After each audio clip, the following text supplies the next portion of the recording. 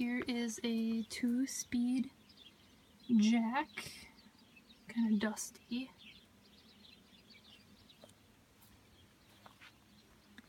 And this is the door to the changing room.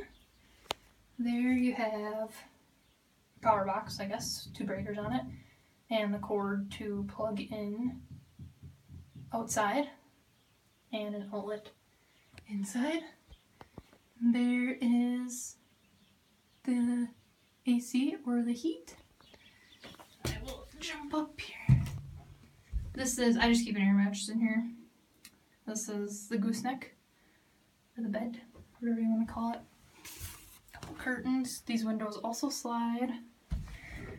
And this is just plain Jane. I call it a boot box, but I guess you could put whatever you want in there.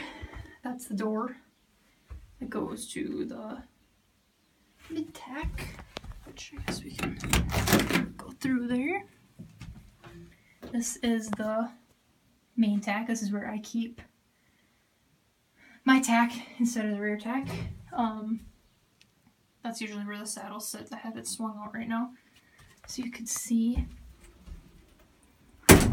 Um, sorry about the mess. Blanket rack. Lots of hooks.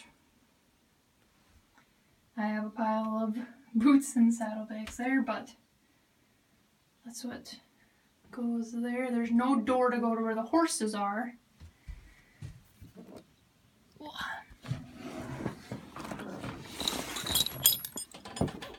But there's your saddle rack that swings out like so. Or the inside.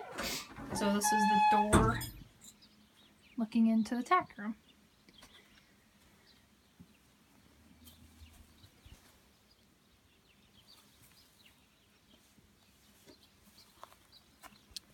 These windows, this is where their butts are, slide.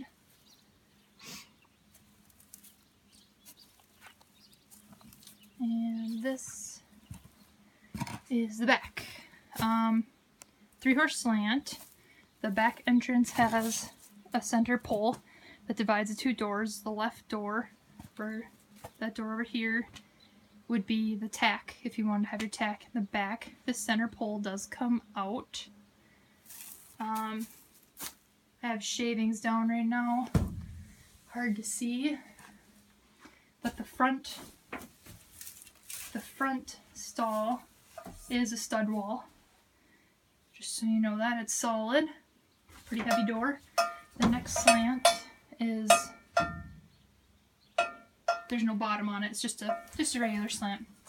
And then this piece here would be if you wanted to have your tack in the rear. And it's really easy to set up. It's literally you pull this pin and it sets off. On the tops of the doors also come off if you want extra insulation. Otherwise we've got the three vents and then this door goes to the outside and that's only in the front um, compartment. Each stall has clips for manger bags which I have. I only have two of those. Just a little FYI.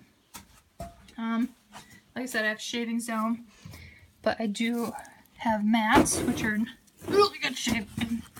They're really heavy, but there's the floor. It's completely solid. Damn near brand new, as you can see. And I'll show you.